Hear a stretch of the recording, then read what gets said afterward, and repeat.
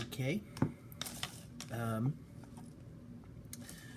I know it's kind of um, weird because I was gonna probably gonna be talking about Bertrand Russell a little bit. and He did smoke. He did smoke a pipe. Either way, this video is going to be um, a good little discussion about an article by Willard Van Orman Quine called "On What There Is." It's in. Um, it's actually in a couple different anthologies because it is a very well known, very famous article in analytic philosophy. So it's very well known, and it really is a um, good article to read if you want to um, basically get a, a, start in like um, well at least metaphysics, but definitely also philosophy of language and epistemology even.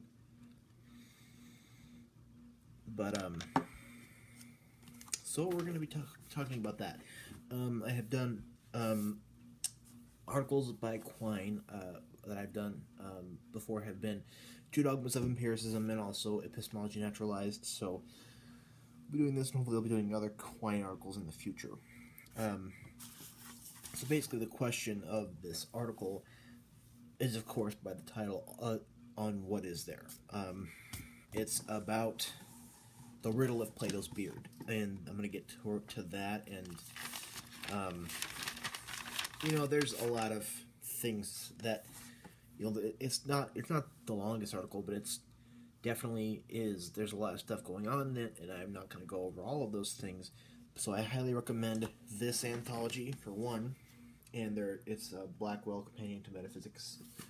Um, well, it's just metaphysics and an anthology, but it is Blackwell um, anthology. But um, the question is on what is there. Um, it's, and of course, there's everything, but then this is a big issue of what non-being is. Um, there are different ways that you can cut at the issue of what of what of, of about non-being. Um, Quine does it one way. Um, people like these guys would do it a different way. Uh, like Martin Heidegger, his um, essay Was ist, or What is Metaphysics, he does have a different take on what non-being is or what the nothing is. And I hope to do a video about that soon. Um, so we are recognizing or not recognizing certain entities. So that we are talking a little bit about ontological commitment as to what things you ontologically commit to, whether you're going to ontologically commit to universals or tropes or um, particulars, properties, whatever you're going to do. Um, and metaphysics are going to, you know, definitely do different things with that. Um, but um, so, and there is also the question of are there no entities? Is there there's big issues about non-being, and the riddle of Plato's beard has to do with non-being itself. Um, non-being, the the riddle is this: the non-being, non-being must in some sense be. Otherwise, what is it that there is not? Because we have what is, of course, like how this cup is this pipe is it and is is just it it, it exists. There are things that are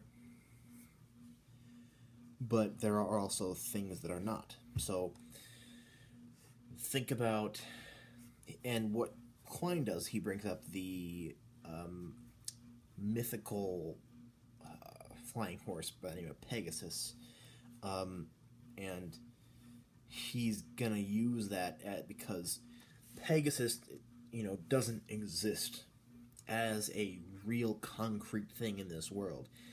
Pegasus is a figment of people's imagination and is a part of mythology and a part of a lot of different things. So Pegasus is in some ways Pegasus is in some ways. Um, and Pegasus is, Pegasus is in some ways not. So the riddle of Plato's beard is about non-being itself. Um, and I guess that, that that makes me think of um, something that is in this book, Being Nothing This by Jean Paul Sartre, the existentialists deal in non being and the nothing. Um, so I have a lot of things I want to, you know, I guess, talk about with us with the existentialists. Um, so there's a lot of things that I could talk about with their way of doing things, but Quine's going to cut at it a different way because, of course, he is a analytic philosopher as opposed to a continental one. Um, so, if Pegasus were not, then using the word isn't talking about anything. So, if Pegasus is something that isn't, then using that word doesn't mean anything. And this kind of comes back to the logical positivist, I guess, criterion of meaningfulness and meaning itself. Um, you know, uh, Quine is somebody who followed Rudolf Carnap and Moritz Schlick and Otto Neurath and um, Wittgenstein and Russell. So Wittgenstein and Russell kind of, and also G.J.E. Moore kind of bred a movement in philosophy called the logical positivist movement, and people like A.J. Ayer, and so they kind of. Um, Rudolf Carnap's article, The Elimination of Metaphysics by Logical Analysis, he does kind of, you know, try to condemn metaphysics, or lots of metaphysics by Heidegger and uh, Hegel and um, the rationalists, even some of them, not quite Descartes, but some of them. Um, but he's kind of just saying that, you know, you can't talk about things that you don't have a criterion of application to. You can't talk about things and ascribe meaning to them if there is no criteria of application. So you can't, um, I mean, well, you can't, you shouldn't um, real philosophy and real science doesn't you know doesn't deal in meaninglessness because meaninglessness is talking about he criticizes Hegel in that or Heidegger in that article in his um, essay about this Metaphysics because Hegel kind of talks about the nothing in a very um, unclear way, um, but continental philosophers are are themselves unclear. So he's kind of bashing Heidegger and saying that what Heidegger is saying is meaningless is because there's no way to ascribe any kind of meaning to it, and you can't g- give meaning to it. Um, and I've done videos on Carnap and lots of the lots of videos about logical positivism as to where I've described this a lot better because I haven't really read Carnap or any of the earlier logical positivists in a long while, so I've probably done better in those other videos. But uh, the issue that Quine brings up in this article is that, um, well, it's not an issue, but it's a point. The point, one of the points he brings up is that you can't, um, or that you, you shouldn't, um, is that meaning meaningfulness and meaning um, comes from it being comes from it being in some way and comes from well he doesn't use the word he doesn't use the phrase criterion of application. That's kind of Carnap's way of phrasing it but anyway I can go on about that for a while so I'm going to try and once I get more into this then I'll kind of make that point more clear. Um, saying Pegasus is not is nonsense because we know what Pegasus is. Pegasus is that white winged flying horse, so we have an idea of what Pegasus is. So to say that Pegasus isn't is nonsensical. Um, denial of Pegasus cannot be coherently maintained. So we can't that we, we have at least in the very least we have an idea of what Pegasus is, therefore we cannot deny him entirely. We cannot deny that we cannot deny Pegasus of any of all being. Um, but Pegasus, you know, so I hope I can. I hope, I hope, I'm, I hope I'm explaining the riddle clear enough, the riddle of Plato's beard, because I guess I, I should kind of maybe do a different video where I kind of explain this better. But uh, the, you know the the riddle of Plato's beard. Um, but I guess one way of explaining it is in Being in Nothingness by Jean, by Jean Paul Sartre. He's he's in, he's in he's in the cafe and he's waiting for his friend Pierre. Pierre Pierre doesn't show up. So he's sitting across from from an empty seat, which Pierre should be in, but he isn't. Pierre is not there. Therefore, there's a void or an absence there. So absence, in a way, is the state of affairs of Pierre not being there is in a way a being. It it's not a being, but it it, it is. So in a way, a absence or a non-being is in a way is. So I hope I'm kind of explaining how this riddle is that non-being has to be in some sense be has to has to be in some sense um, and it has to um, I guess exist is not the exist can kind of help clear that up, but I don't like that word because it has different different different con- different connotations that I don't want to use here. Um, so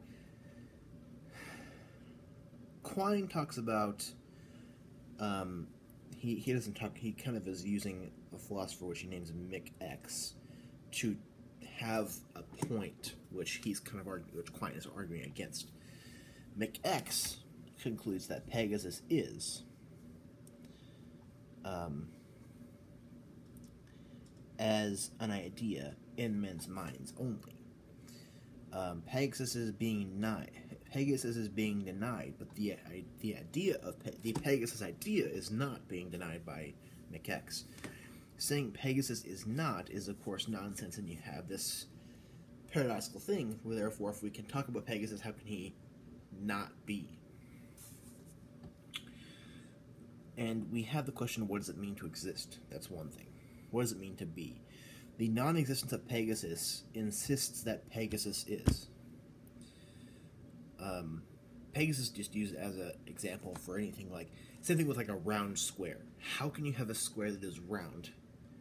Um, you know how and think you can use you can use you, you, you can use unicorns or um, a magic carpet or the round square. The round square is a great thing that has been used by many analytic philosophers, including Wittgenstein.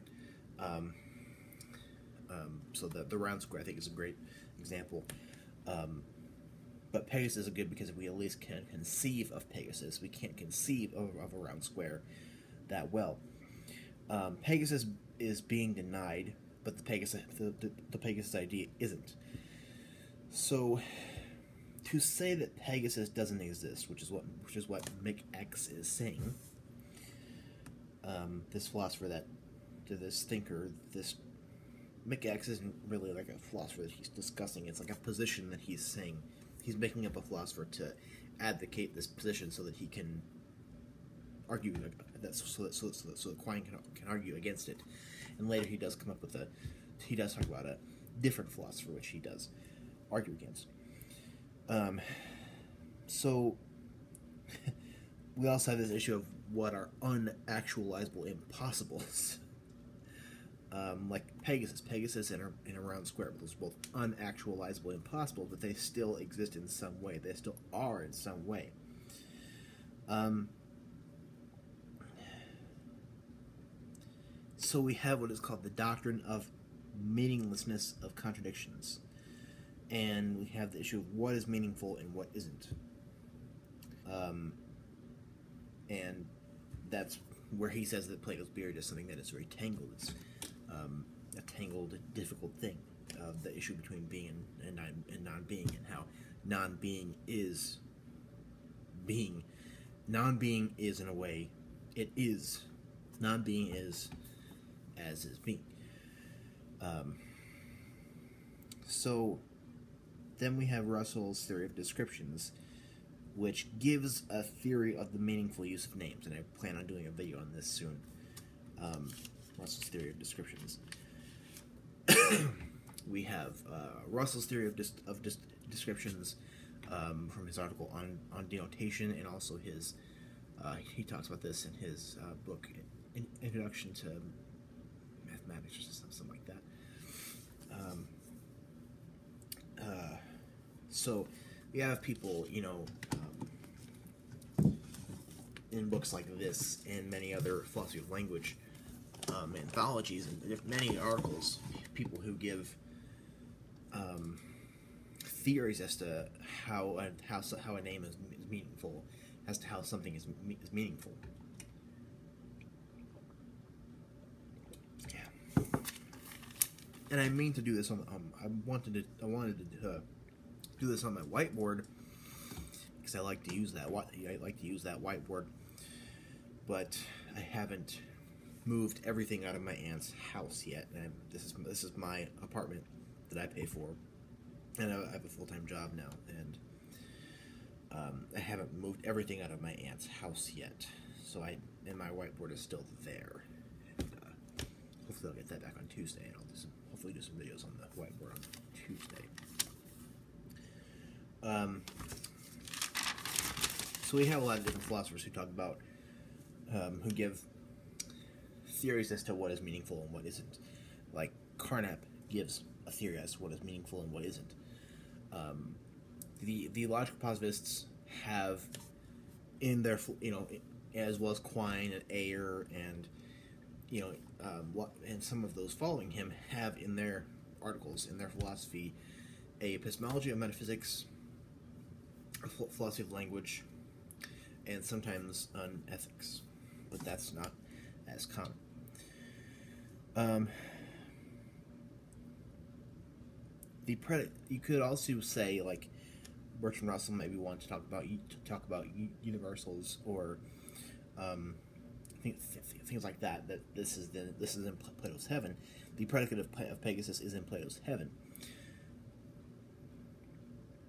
And to say so and so is not, to say this is not, to, to, to say so and so is not is that a meaningful thing to say?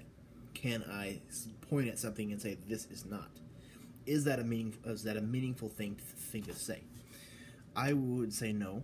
I don't think that it's, I don't think that it's meaningful to say that something isn't because you have that riddle of the, of the Plato's beard to say that if that to say that so and so is not makes that whole thing that whole statement meaningless. Um, and you have the thing of the issue of ontological commitment, like I said before. Um, we're saying so and so or not, so and so is not, doesn't commit one to a ontology, and it can also be that depending on what you on what ontological entities you commit yourself to, that can give a criteria of meaning to that can help with that. Um, the meaningless of a term doesn't presuppose a entity, or the meaningfulness of a term doesn't presuppose on entities. So Quine is kind of arguing that um, Pegasus is a to say to to refer to Pegasus that is a meaningful thing. Pegasus is meaningful, but that doesn't mean that we're saying that Pegasus is a entity that that that, that exists in the world. Um, there's a gulf between meaning and naming, and to name doesn't mean that you're that, that you're going to have meaning um, a singular term doesn't have to name to be significant. And meaning isn't naming. Thus, you have the whole thing with Frege, the whole morning star, e- evening star thing. And Russell solves it solves it one way with this whole thing about descriptions and denotation. Frege has this whole morning star, evening star thing, which he, you know, is his puzzle, which he discusses in um, multiple articles, like uh, this article, um, Sinn und Bedeutung, or Sense and Reference. Um, basically, Morning Star and Evening Star. The riddle is that Morning Star and Evening Star are both the planet, the planet Venus. But do since Venus can appear in the morning and night, Morning Star, Evening Star, does Morning Star and Evening Star mean the same thing? And Frege's answer to, answer to that is no. Thus, he has a twofold notion of meaning. Thus, sense or Sinn, um, and reference and Bedeutung. So, like Bedeutung in German is like a is word is a word for meaning. So reference is is is denotation. Thus, reference is picking something out. Uh, morning star and, and evening star both refer to the same thing. However, their senses are different. Um, so this we have this confusion between meaning and meaning and naming. Um, meanings are still universals, though, and they attribute a theory of properties. So, um, the whole thing here is um, questions about this issue of Plato's beard. Um, and there are a lot of different other things in here that I could have chosen to look at, but um, and he says from from among the various conceptual schemes best suited to these various pursuits, one the the, the phenomenalistic claims epistemological priority. Viewed from within the, the phenomenalistic conceptual scheme, the ontologies of physical objects and mathematical objects are myths. The quality of myth, however, is relative, relative in the case to the epistemological point of view. This point of view is one among various, corresponding to one among our various interests and purposes. So, we have, I guess, in my opinion, with this article, we have more questions and more questions than we have answers. He kind of, and many with with many articles in analytic philosophy, we are raising more questions than we are answering. Uh, well, that's kind of a lot of. That's in my opinion what happens a lot. Um, I think that he did answer a couple of questions in that to say that so and so is not isn't exactly a meaningful statement or um, proposition, um, and also to um, to refer to Pegasus is or a round square or a unicorn. That's also something that um, still has meaning, even though those things don't have concrete existence and they don't they don't they are not entities. So this article also discusses a epistemological priority of things um, and kind of states and kind of he almost suggests at a um, epistemological um, priority in doing in doing lots of different philosophy um, and what that would mean is that um, our theory of knowledge comes before a metaphysics or a, or a philosophy of, language. Um, and in this article, what is given is he doesn't really have a, a, metaphysics, but he does discuss metaphysics.